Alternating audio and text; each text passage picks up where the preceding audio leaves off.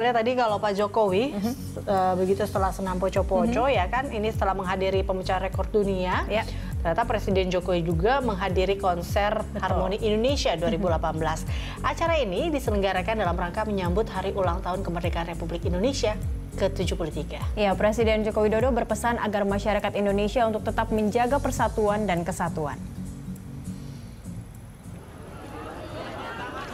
Ya kalau kita lihat memang antara uh, Asian Games mm -hmm. dengan kemerdekaan kita kan begitu dekat ya harinya iya. di mana 17 Agustus 17 Agustus kemudian besoknya, besoknya adalah opening, opening ceremony, ceremony Asian Games. Mm -hmm. Nah, itu dia. Jadi ini semarak dari uh, perayaan, perayaan besar Games. di Indonesia. Ini besar sekali ya dua-duanya juga.